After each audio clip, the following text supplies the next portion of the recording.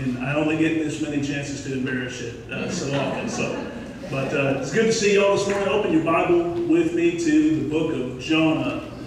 The book of Jonah. I want to begin this series of messages with you through this book. Y'all know my heart by now that uh, here and there we may get into a topical series, but my heartbeat is to take a book of the Bible and to begin to ex- exposit it, see what's in there, and begin to apply the ancient message for today for us. And I, and I felt led to uh, begin this series of messages with you uh, from the book of Jonah today. I don't know if you are aware of this story, uh, but I, started praying through this uh, as we approach the end of Philippians. And I said, God, where are we going next? And I just really felt led to Jonah. Uh, and no joke, I didn't plan it this way. Uh, but uh, we made an announcement uh, in our social media feed uh, June, June the 9th that uh, we we're going to begin this series today. And no joke, on June, the, on June the 11th, two days later, there was some news that made the headlines about a, a story that is almost, almost uh, un- unbelievable. I- if you didn't know this story, it might, it might be unbelievable. Uh, on June the 11th, there was a self-described lobster man, a, a professional lobster fisherman, if you want to call him that, and he was out scuba diving off the off of Cape Cod, and he told this story. He said, "I was out scuba diving, and I was about 40 feet down, when all of a sudden I just felt this big bump, and everything went pitch black." And in a matter of seconds, I thought, oh no, I've been bitten by a shark. But he said, I began to feel around, and there weren't any teeth, and it hit me.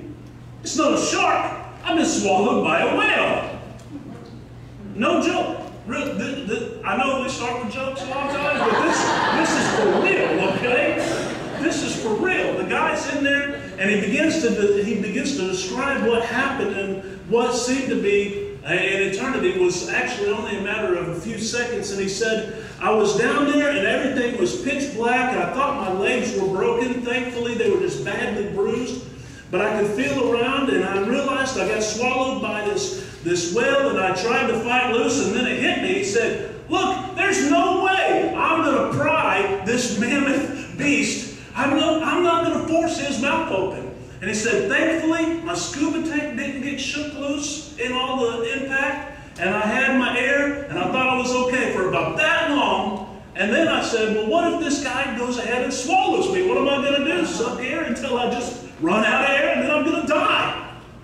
And he said, and then it hit me, and all I could think about was my wife and my kids.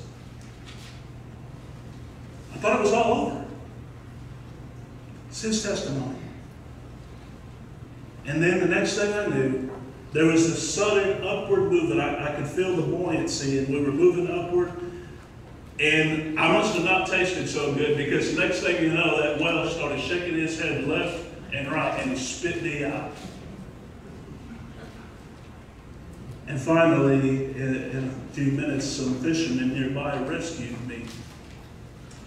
Now, I want to tell you this story, not because it's any more real than what we're fixing to read, but I want to begin telling you this story because over the years, as we have heard the story of Jonah, many of us, growing up in Sunday school and Bible school and hearing it heard in church, it's kind of lost its wow factor. What I'm fixing, what we're fixing to dive into today, definitely intended. What we're fixing to get into today is something that God really did in history, in the life of a, of a prophet by the name of Jonah. And I want to get into this because there's a lot of things in Jonah's life that I really believe that the reason God inspired Jonah to write his story, listen, he's the only guy there that would have known about this to write about it after the fact. This is, this is an autobiography from Jonah's experience, okay?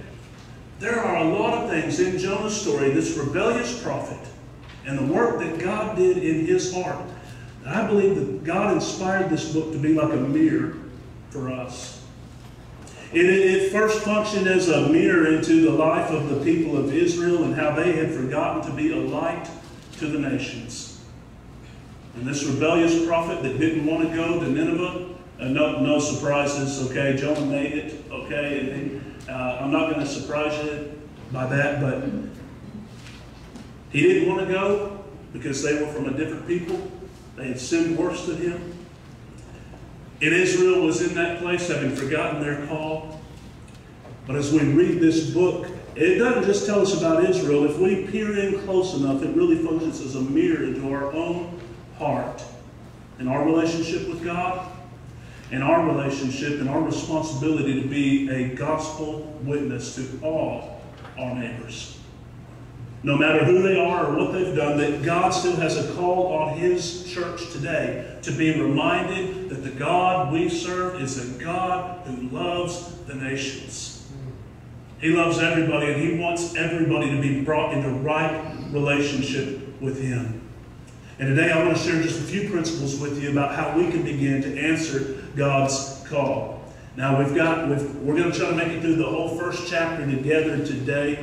Uh, so we're just going to take this a, a, little bit at a time. But would you join me in a word of prayer before we uh, dig in this morning? God, we come to you together today, and God, we are asking for you to speak to our hearts. Lord, would you open your word, open our hearts to receive your word. Lord, not only to hear the message, but Lord, to heed it and to obey your truth in your word. God, help us to understand it today by your Spirit, and we ask it in Christ's name. Amen. Here's the first thing I want to share with you. We're going to look at the first three verses together this morning. And if you're going to answer God's call, here's the first thing you've got to do. You've got to say yes to God regardless. You've got to say yes to God regardless. Look at these first three verses with me this morning. And the Bible tells us, Now the word of the Lord came to Jonah, the son of Amittai, saying, Arise, go to Nineveh, that great city and call out against it, for their evil has come up before me. But, verse 3, but Jonah rose to flee to Tarshish from the presence of the Lord. He went down to Joppa and found a ship going to Tarshish. So he paid the fare and went down into it to go with them to Tarshish away from the presence of the Lord. If you want to answer God's call, the first thing that you have to do is you have to decide that no matter what God says to you in His Word, uh, whatever His will is, that you are going to step out into it and that your answer is already yes, Lord. That should have been Jonah's response. Here he is, a prophet, and yet he was on the run. A lot of times when we think about uh, Jonah, we automatically think about this moment in his life, uh, of this moment of rebellion until God worked in his heart. But there is more to Jonah's story than we find here. In fact, if uh, you want to make a margin of this, and uh, if you want to make a note of this in the margin of your Bible, jot down 2 Kings uh, chapter 14, verses 23 through 25. 2 Kings chapter 14, verses 23 and 25. And the Bible tells us this. In the 15th year of Amaziah, the son of Joash, king of Judah, Jeroboam, the son of Joash, king of Israel, began to reign in Samaria. And he reigned 41 years. And he did what was evil in the sight of the Lord, and he did not depart from the sins of his dad, Jeroboam, the son of Nebat, which made Israel to sin.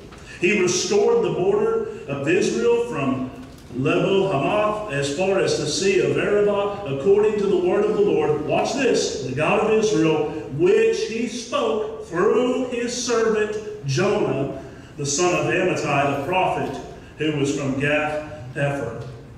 Okay, a couple of things that stand out and why this is important to us this morning. This backstory of Jonah. If you're familiar with your biblical timeline, it, it, it helps us to understand Jonah's place in history and this moment, uh, how significant it is in his life that when God told him to go to Nineveh, he said, See you later. okay? A couple of things. It tells us that Jonah had served uh, in the northern kingdom of Israel, for those of you uh, that may not be as familiar with the biblical history, during the time of Solomon, David's son, because of Solomon's sin and his making treaties with the nations and his compromises in his life, uh, uh, God told Solomon that because of his sin that God was going to tear the kingdom in two. But because of his love for David and because of David's faithfulness that he wasn't going to do it during Solomon's lifetime. And instead, after Solomon died, there rose up a king, Jeroboam, the son of Nebat, the first Jeroboam chronologically. And he rose up and he led the people to make idols of golden calves and come and worship there. And because of that, then the nation began became split. You had the northern kingdom called Israel, and you had the remaining two tribes referred to as Judah, which was Judah and Benjamin in the south. And from that time on in their history, they were divided. And Jonah serves in the reign of the second Jeroboam there. But unlike other prophets in history, Listen, there, there's three things about, about Jonah's ministry during this time that you need to know. Jonah was serving the Lord during a prosperous time. Uh, they had not, the, the, the Ninevites and the Assyrians, that is, the, the Babylonians, had not come in to conquer the land yet. It was a time of peace. The economy was booming. They didn't have war. They were at peace with their neighbors. And look at Jonah's ministry as we find it here recorded in 2 Kings. He was even seeing God fulfill the prophecies that he had uttered. Listen, who wouldn't want to minister at a time like that? There's peace, there's prosperity, and he is seeing God on the move. But something changed when God told him to go to Nineveh. Some of y'all may have been wondering what this thing was back here. When God told Jonah to go to Nineveh, he packed up. And he said, I ain't going to Nineveh. Nineveh's in the east. I'm headed out as far west in the opposite direction as I can. Lord, I'm packing. Go get yourself a different preacher. I ain't going. Because those people of Nineveh, you have to understand, they were a superpower on the rise. Okay? And they were known for their violence and their wickedness and, and, their uh, abuse of the surrounding peoples around them, how they subjugated them to grotesque violence. In fact, the only people in history that compare to them is the Roman Empire, who had a road called the Appian Way, that for miles leading into Rome, they lined the road with people on cruces, on crosses, having crucified them as a message to those, don't mess with Rome. Well, the Ninevites had a similar road. Instead of crosses, they impaled people alive and left them to die out in the desert. And Nineveh knew how bad they were. And he said, I ain't going. They deserve what they got coming, and I'm not going. And he even tells us later on that, that he knew that if he went to Nineveh, that they would repent. Look at uh, chapter 4 and verses 2 and 3 here with me in Jonah. And listen to what Jonah said here. He said, and he prayed to the Lord and said, Oh Lord, when the people repented, Oh Lord, is this not what I said when, when I was in my own country? That, this, that that is why I made haste to flee to Tarsus, for I knew, I knew it, God, I knew you are a gracious God and merciful, slow to anger, and abounding in steadfast love, and relenting from disaster. Here's what Jonah's saying God, those people are so bad and so wicked. They've done so much wrong. And they deserve what they had coming. And I knew if I went in there, you were going to them when they repented. Now listen. You know what Jonah's problem was? Going to tell you. Jonah's problem was the same problem many of us have at different times in our life. As long as we like what the book says, amen. But as soon as God tells us to do something that doesn't exactly fit uh, our, our, our, taste, our style, we're like, oh, me. And we don't, we don't heed the parts that we don't like. Jonah had a golden corral theology. I'll take a little bit of this, I'll take a little bit of that. Praise God for that gold, for that fountain of chocolate. You can dip anything in there. Amen and come back. But I'm going to skip the parts I don't like. That was Jonah's problem. This prophet that received the very word of God. He said, God, those people have done so much bad. I, I don't think that your grace is good enough to cover them. And if it is, I don't, I don't want to go tell them. Historians tell us of President Jefferson, and, and listen, I'm not speaking in, in, in, disrepute of our founding fathers. It's just a historical fact that I, that I need to tell you this morning. History tells us about President Thomas Jefferson that he wrote two works on religion during his time. One was the philosophy of Jesus of Nazareth, and the other was the life and morals of Jesus of Nazareth. And it was completed in 1820. But here's what he did. It's a historical fact, okay? He completed his second book by taking the Bible with a razor and cutting out of the Gospels all of its records of miracles, all of its references to the resurrection, all the things that he didn't believe were true. And you say, how could somebody do something like that? I would never do something like that to God's Word. Could I tell you this morning, as a Spirit impressed upon my heart?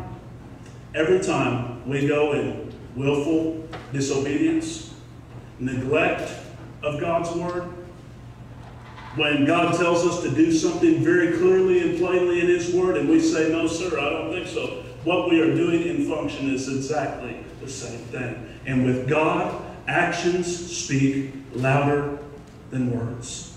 So if we're going to answer the call, the first thing that we've got to do is we've got to say yes to God regardless. Here's the next thing that we need to do. Look at with, with me in uh, verse 4. And I want, to, I want you to see that, listen, we need to answer God's call because if you run from God, guess what? You're going to run right into God.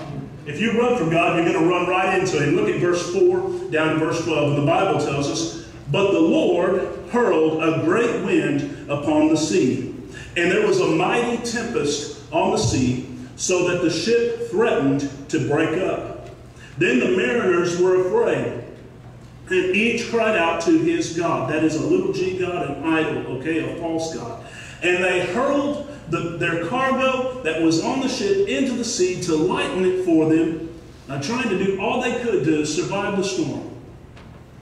But Jonah, look at where this preacher's at. But Jonah had gone down into the inner part of the ship and had laid down his life, uh, and, and had laid down and was fast asleep. So the captain came, verse 6, and said to him, What do you mean, you sleeper? Arise, call out to your God. Perhaps the God will give a thought to us that we may not perish. If you're still with me, say amen. amen. I'm in verse 7. Look with me. And they said to one another, Come, let us cast lots that we may know on whose account this evil has come upon us. So they cast lots, and the lot fell on Jonah. Then they said to him, Tell us on whose account this evil has come upon us. What is your occupation? Listen to that first question. It's important. What is your occupation and where do you come from? What is your country and of what people are you? Verse 9, and he said to them, I am a Hebrew. I fear the Lord, the God of heaven, who made the sea, and the dry land. Now, before we finish out those last couple of verses, I want to make a commentary here. They asked Jonah what his occupation was. And as a preacher on the run from God, I believe he was too ashamed to tell them, I'm a prophet, I'm a preacher.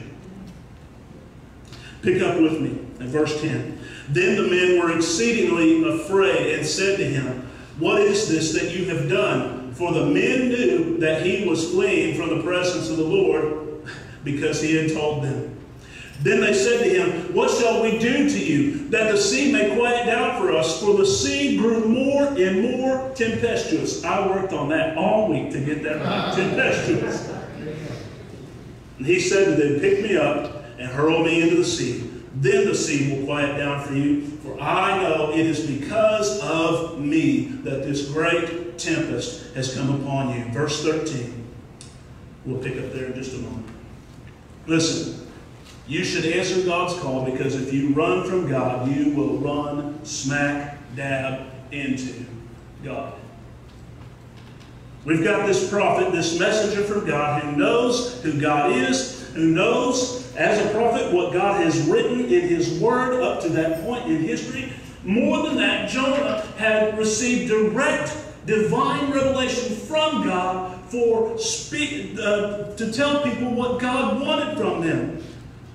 But when he's told to go to Nineveh, he runs from God.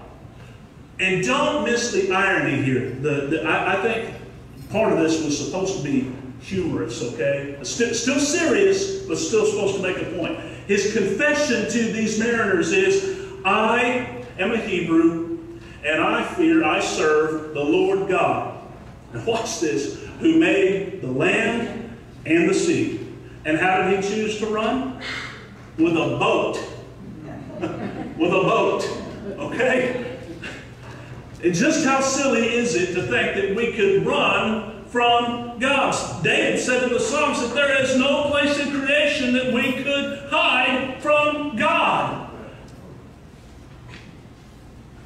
But notice the emphasis of Jonah's rebellion. He went down to Joppa all on his own. Listen, he didn't take time to pray to discern God's will. He didn't have to. He already knew what God wanted, and he said, I'm going to Joppa anyway. And then he finds a boat, the Bible tells us. So don't misunderstand this. It wasn't like he went down there and he stumbled into one, and he, oh, here's one. No, he's, he searched for this puppy out. He said, I've got to go out to Tarshish, which uh, scholars tell us is out in modern day Spain, to the furthest extent of far away from where he had been told to go as he could possibly conceive. This was the end of the world as far as he knew, to go as far as the other direction from God as he could. And he went down to Tarshish. But thank God.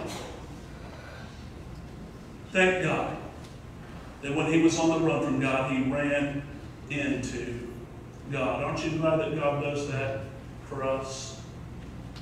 It's two theological truths here that we learn, uh, and then we'll go on to our next point. But the first thing that we see here in Jonah's life, and one of the most comforting things that we find in this passage of Scripture, is that even when the world around us is chaos, God is still in control. Look at this rebellious prophet doing all that he can to run away from God. And yet God tracks him down and ends up working exactly out to his plan as God had designed it. It's what you need to know about God's will is it works two ways. God either decrees things to happen or he steps out of the way and he allows them to happen for his purposes. But either way, God's will will not be thwarted. He will always accomplish His will and His purposes, and we can always trust Him. And God can even use the wrong, sinful choices of the world to accomplish His good purposes. That's why J Joseph said in Genesis chapter 50 and verse 20 to his brothers, he said, You all meant this for evil against me. When you abandoned me, when you went home and you told daddy that a lion had killed me, when you lived and you ignored me, you never searched for me, you meant this for evil against me. But praise God, God meant it for good, for the salvation of many. Listen, here's, here's what you got to know. When you can't, as one preacher said, when you can't trace God's hand, you can always, always, always trust his heart in the midst of your storm. Here's the next thing that you got to know. And I hope that you hear this one because it's, it's possibly the most important thing that God's got me to say this morning. That God confronts us in our sin because of his compassion. Why didn't he just let Jonah go? Why, why doesn't God just let us go our own way? When we are living in sin, I'll tell you why. Because the worst thing God could ever do is to just let us go on our way without Him. And because God loves us, He pursues us and He, he chastens us and He disciplines us, not because He's a cosmic bully, but because He is our Heavenly Father and He loves us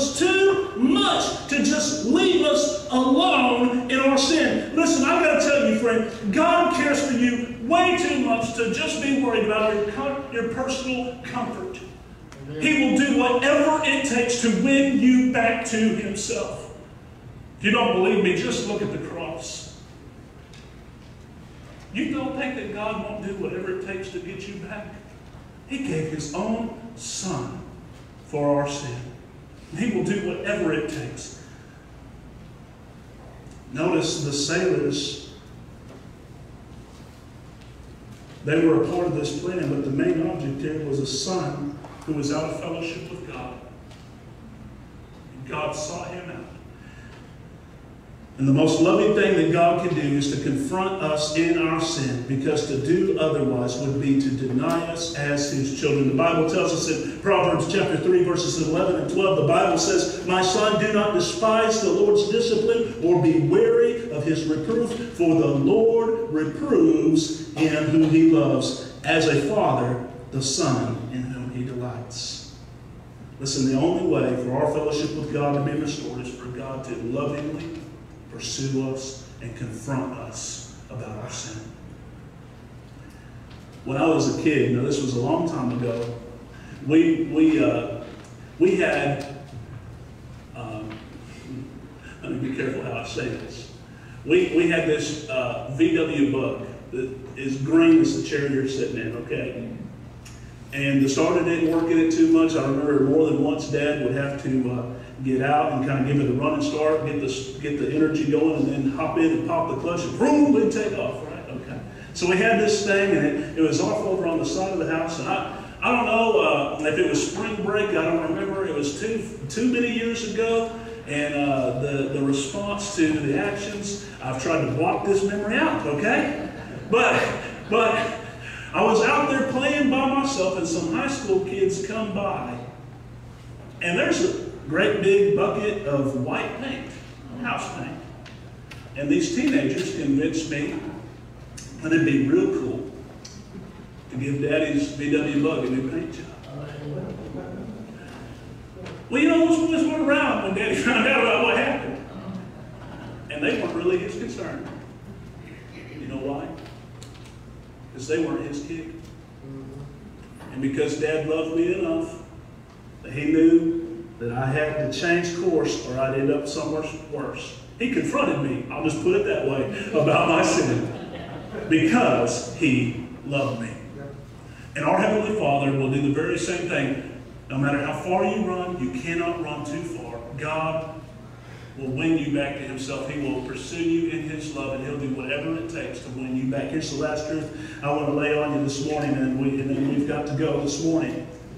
But look at these last few verses, verses 13 through 17. And I want to tell you that here, if you want to talk about answering God's call, you can always answer his call because redemption is always, always available.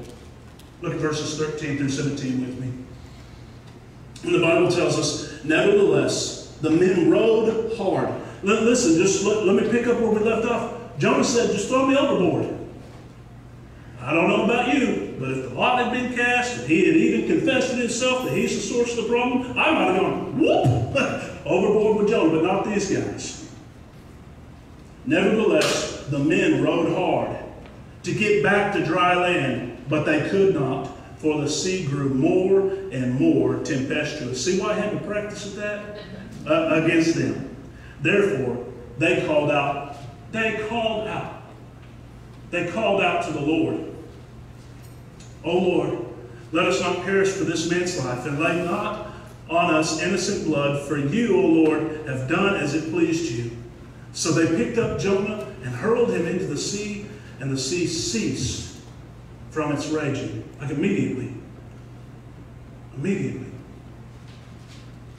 Verse 16 Then the men feared the Lord exceedingly, and they offered a sacrifice to the Lord and made vows. And the Lord appointed, verse 17, a great fish to swallow up Jonah. And we can just pull over here and say, regardless of what your translation says, if God wanted it to be a well, it was a well. Amen? And Jonah was in the belly of the fish three days and three nights. You can answer the call because of redemption is always, always, always available.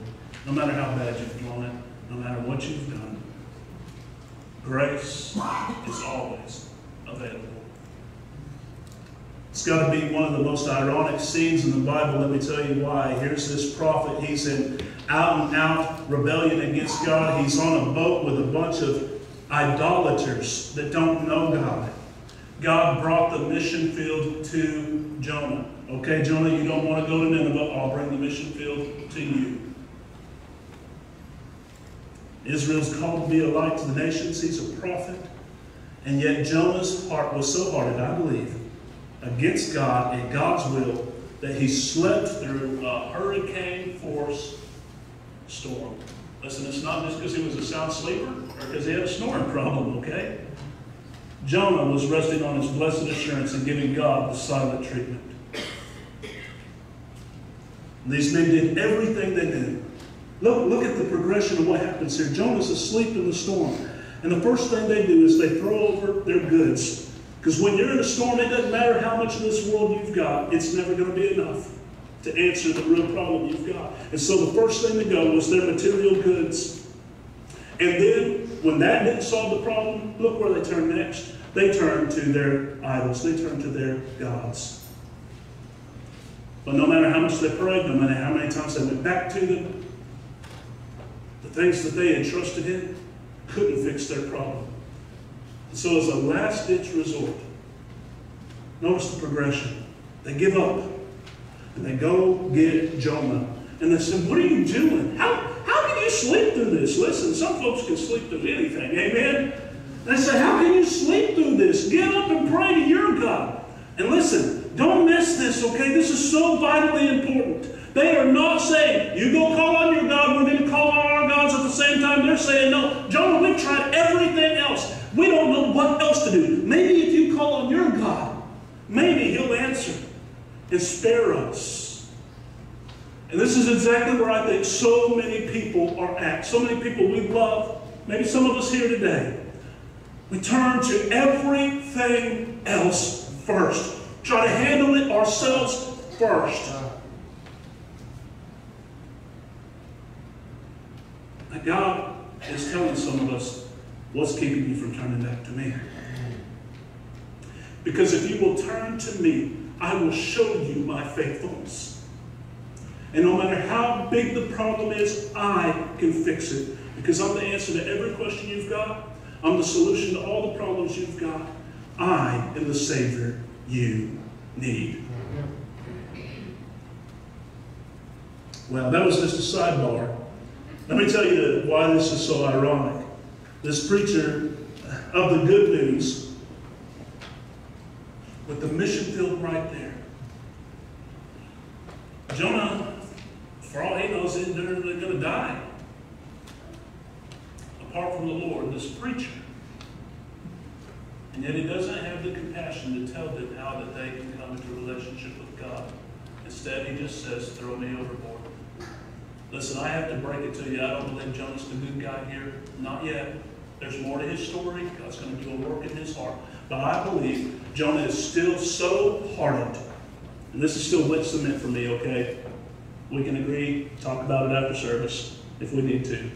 But I still, but I believe that in this moment, Jonah is still so hard-hearted against the people of Nineveh that he said, I don't care if I gotta die, I ain't going to Nineveh.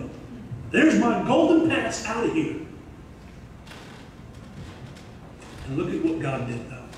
In the midst of this, God moved in mercy to start a revival that would touch the nations, despite this preacher's insolence and incompetence.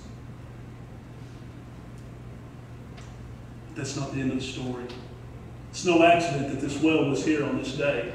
Did you read that passage with me? It said, God ordained. God sovereignly moved. He had this whole thing planned out ahead of time. He already knew the decision Jonah was going to make. And he knew, I've got to send a, a whale here. You know what the whale's name was? I know what it was. It was Romans 5 8.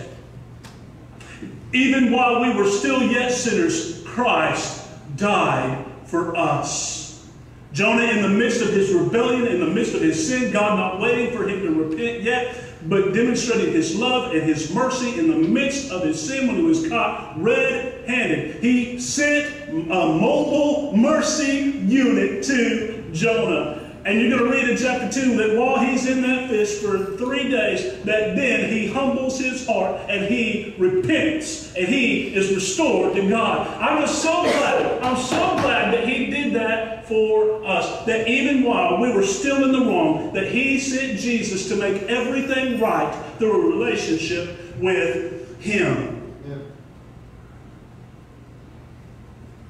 God gave Jonah a second chance because of grace, and that same grace is still available today. You say, how do you know that, preacher? I know because Jesus told us in Matthew chapter 12 and verse 40 that this scene in Jonah's life, that Jonah himself was a picture of Jesus. You say, how is it that God could forgive a sinner like Jonah out and out, living in broad daylight in sin against God? Same way he forgives all of us. Just as Jonah was in the belly of that whale for three days and three nights, Jesus told us in the New Testament that he was a picture of what Jesus would do when he would go to the cross and he would be laid in a tomb for three days and rise on the third day for the forgiveness of our sin. God can forgive us because he laid our wrongs on Jesus who never sinned, who always did everything right who died as a payment for us and who has risen again. I think it works like this. Back in the day, we used to have these things on the street corner. There was a metal box. It had a long silver cord and had a black handle that you could pick up and put up to your ear. It was a payphone. Y'all remember that? They used to have those things. And if you were in trouble, didn't matter where you were, you could go to the payphone and you could make a call back home. Didn't matter if you had enough to cover the charges or not, because you could do this thing that they call a collect call. Amen? Amen? You would pick up the phone and you'd say, I need to get connected back home. And the operator would get you connected, and uh, dad or somebody might pick up the phone and say, Who's calling? And the operator tell them you're getting a call from so and so. Do you accept the charges? And because of love, they foot the bill. And I want to tell you that at the cross, that is what Jesus Christ did for us. And it doesn't matter how much wrong you've done, how bad you've blown it, His payment is sufficient. Here's all He's asking to do come home. Do you need to make a call to heaven today? Turn. Maybe, you're here today and you would say, you know what, preacher? I, am sure that I'm that I'm a believer. I took care of that a long time ago. If I die today, I know absolutely I have peace in my heart. I know where I'm going without any doubt. I'm so grateful for that. But could I ask you, is there an area of your life where you're not totally surrendered, just like Jonah? Where you need to come and you need to say, I need to surrender. I need to repent of something that is going on in my life, an attitude, an action, a behavior, something. I need to come lay it down today, and I want to be restored today. If that's you here in just a moment, our instrumentalists are going to come, and we're going to have a time for you to do that today. But here's the most important thing that you need to do. if you're here today and you would say, man, that sounds great, that assurance, that peace in my heart, sounds wonderful, but, but honestly, I don't know. I don't know with absolute assurance in my heart. If I was to die, that I would go home to be with the Lord. Now, I don't know that there's a place waiting on me because I've never, I can't think where there has been a definite moment in my life where I have turned from my wrong and put my hope and all my trust in Jesus. Listen, God brought you here today to take care of that today. Would you stand with me as we prepare to come? Here's all you need to do to take care of that today.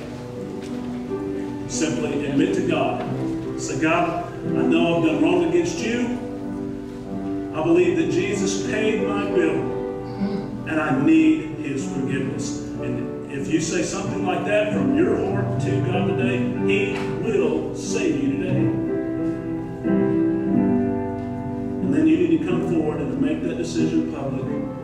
Nobody here is going to think a thing about your decision. We're just going to rejoice in the work that God has done in your heart together this morning. If you believe that, would you say amen? Amen. amen. We're going to have a word of prayer. God's speaking to you today. You come. You come. Jesus, we come to you and we pray now.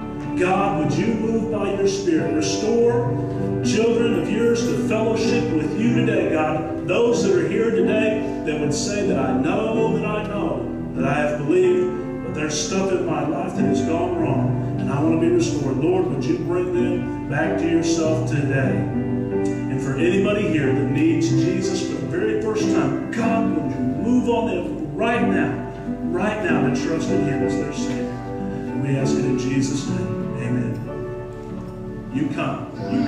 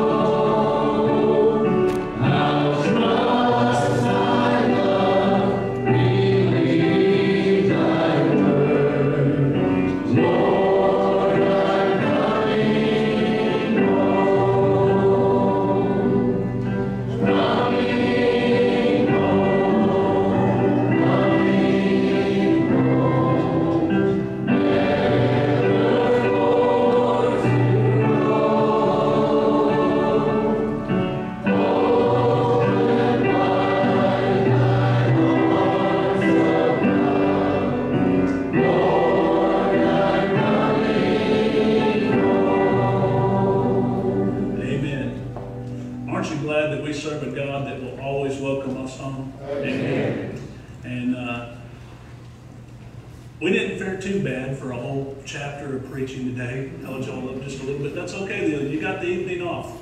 Amen. So, uh, so glad to see y'all. This, look at this place. This could be every week. Amen. Full. Okay? We're so glad that you're here this morning. Let's have a word of prayer and we're going to be dismissed. Uh, Brother Larry Russell, I'm going to call on you this morning. Would you mind? Thank you, sir. Heavenly Father, Lord, we just, uh, thank you for that opportunity to come out and hear your word.